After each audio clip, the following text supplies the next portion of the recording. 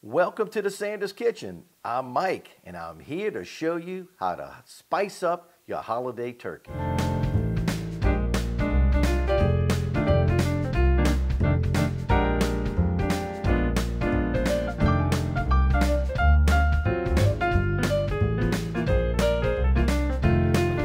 You know, this is really interesting.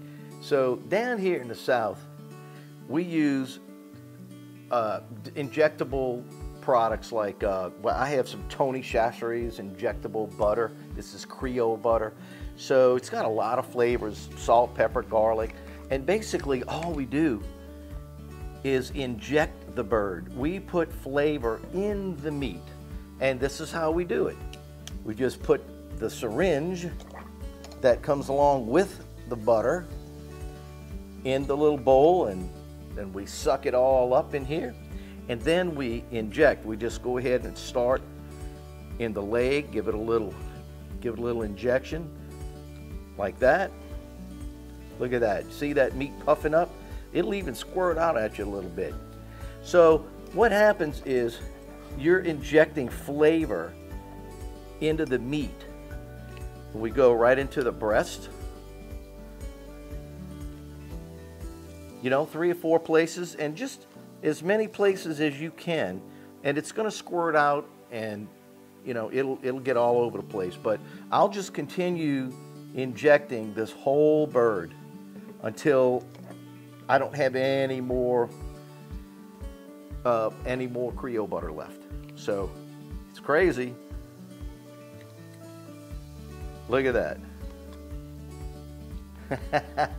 it's really cool.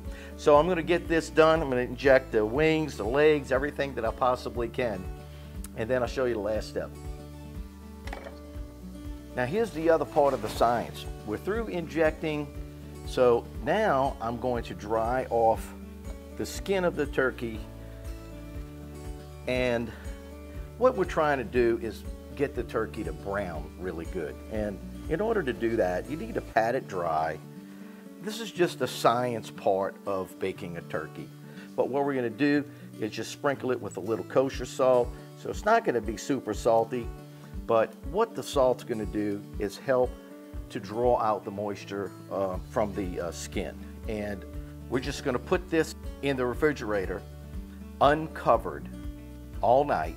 It's going to dry out a little bit. It'll kind of turn colors, look a little funky, but it's going to be really good tomorrow and then we'll show you the rest of the process. I can't wait because this turkey is going to be beautiful and delicious. So we'll see you tomorrow.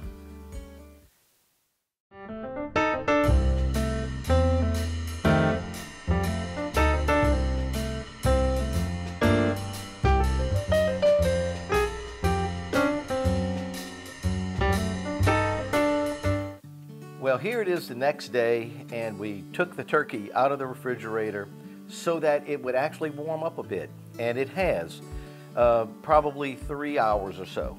And so the next step is to go ahead and put some butter and some, uh, and I have some poultry seasoning right here, and we're just gonna mix that together.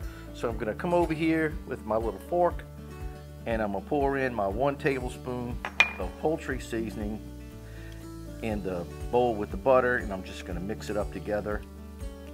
Now I don't know if a spoon would have been better or a fork at this point. We'll find out. But uh, wanted to mention that I took the, the butter out of the fridge. I could have let it stay out with the turkey, but uh, I forgot. So what I did was I put the butter in the microwave for 10 seconds and it softened it really, really good. So I'll, I'll slide this under as much as I can and scoop it out like that. Okay.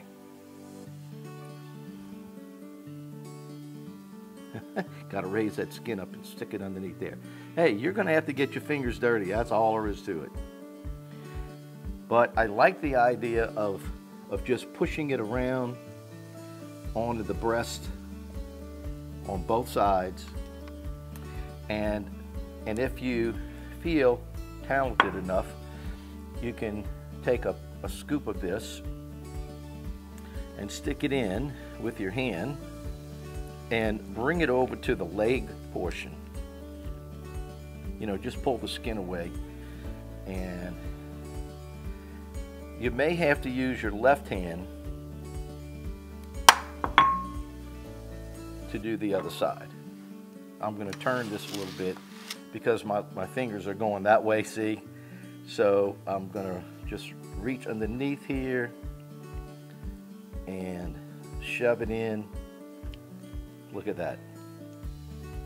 Hey, I know you guys could do it better than I can. So just go for it. The rest of it goes on top. So whatever's left in the bowl, put it on your hands and give that bird a massage with some of that butter. Everybody that buys a turkey knows that there's always a little spot that the skin is kind of torn away from. So I used my twine, my butcher twine, and a trussing needle, and I literally stitched it up, okay?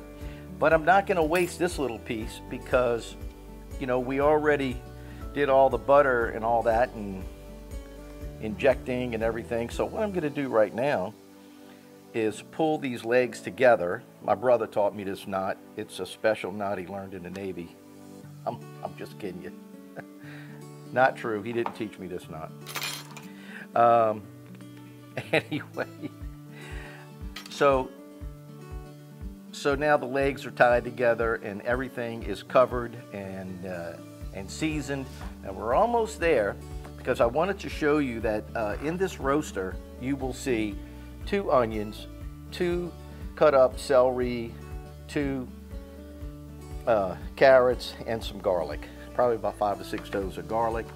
And I, I actually took the little tail piece and cut it in half and threw it down there too because, you know, hey, it's all flavor. I'm not going to eat it, but it's all flavor. So what I'm going to do right now is take some orange and I'm going to stuff it up in here. A couple of orange quarters, some cut up onion, some yellow onion, and I'm actually going to throw a few pieces of garlic in here too. Wouldn't hurt. Hey, it's all about flavor, right? Hey, let's not forget about our rosemary. I was putting everything away and I said, wait a minute, got to put the rosemary in here. So we'll just stick that in. And now I'm going to take these little wings and we're going to fold them babies under like that. Okay, so we're going to put this in a 450 degree oven, Fahrenheit, for 30 minutes. And then we'll turn it down to 300 degrees. And then I'll show you how to make a great basting sauce. So let's go ahead and put this baby in the oven. Set my little timer. And put it right on in.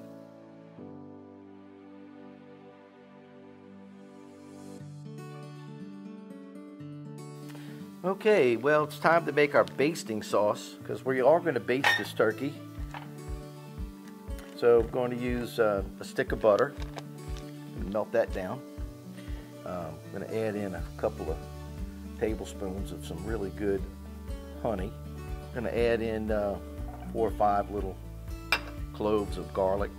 I'm going to add in this uh, cream sherry wine I guess we're going to go with about a quarter cup. We'll see. Might need a little bit more than that. And then a few dashes of some Worcestershire. One, two, three. And then I made up um, a little sprig of rosemary and some orange peel. And we're going to melt this all together. And we'll just use this to baste every 30 minutes and I will turn the turkey every time I baste and turn it around the opposite way. It's a pretty interesting little recipe.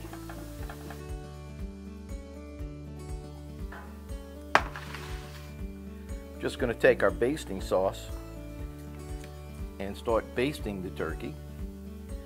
Uh, I'm hoping that the basting sauce is going to help it brown nicely. And I'm going to flip it around so it was facing that way. I'm going to leave it that way when I put it back in. And now we'll put it back in the oven for 30 minutes and we'll just keep basting and, and turning it every 30 minutes. Uh, it's probably going to go for an hour and a half, but uh, I will verify the final temperature with the instant read thermometer. We're looking for about 155 internal. So I'm gonna get it back in the oven.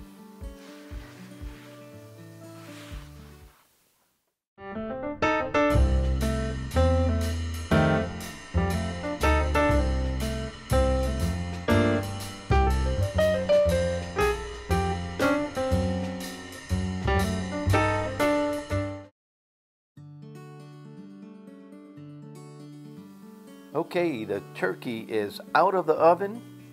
It looks great. And I'm going to go ahead and check the temperature in the thigh. And I'm going to stick that down in the thigh. And we have 159 degrees, which is very good. Now I'm going to go in the breast. and this is the thickest part. We have 161. So as it rests, it's going to come up about six degrees or so. So it's going to be close to that 168, um, you know, somewhere around there. I mean, we're not going to nail it exactly, but it's close, very close to being perfect. So what we're going to do is let it rest. I'm going to take it off of this roaster, and I'm going to take all the uh, veggies out with the, the little stock that remains and we'll just make a little gravy.